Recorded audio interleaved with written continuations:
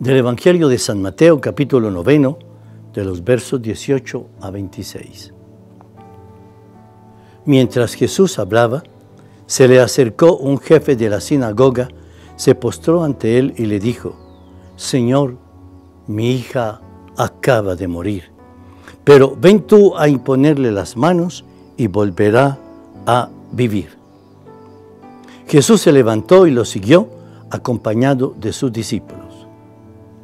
Entonces una mujer que padecía flujo de sangre desde hacía doce años se le acercó por detrás y le tocó la orilla del manto, pues pensaba, con solo tocar su manto me curaré.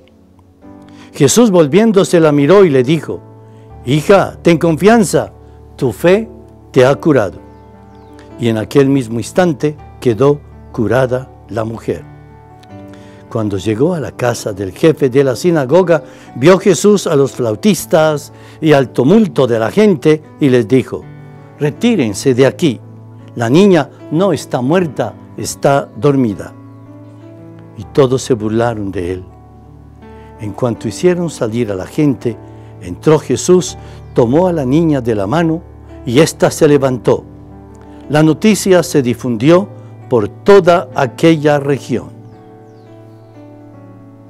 palabra del Señor. Gloria a ti, Señor Jesús. En orden a esta hermosísima palabra, quisiera comentar dos cosas que me parece oportuno. La primera de ellas es, fijémonos, Jesús no es amigo de espectáculos. Jesús no hace del milagro un espectáculo, hace del milagro una presencia de amor, una presencia de sanación y de cuidado. Por eso entonces a diario el Señor nos va dando milagros maravillosos. Pero no pretendamos entonces que tengan que ser realmente con el espectáculo inmenso de actitudes raras o de actitudes protuberantes, sino que en la misma sencillez de cómo nace una pequeña planta y se desarrolla ese espectáculo maravilloso, es un amor del Señor. Y en segundo lugar es lo que dice Jesús, la niña no está muerta, está dormida. Saben ustedes, yo he hecho a veces el ensayo al despertar de mi sueño por la mañana y decir, Señor, un día despertaré y abriré los ojos y estaré en el cielo, así lo espero. Qué alegría, Señor. Pero otras veces me tengo que decir, Señor, ¿será que si hoy me despertara en el cielo, podría permanecer allí? ¿Estaría preparado para ir al cielo?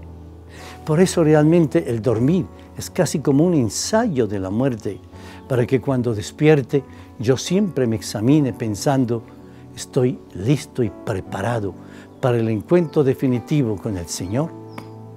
Creo que son dos pensamientos que vale la pena hoy tener muy en cuenta. El Señor hoy te ilumine y te proteja en el nombre del Padre y del Hijo y del Espíritu Santo. Amén.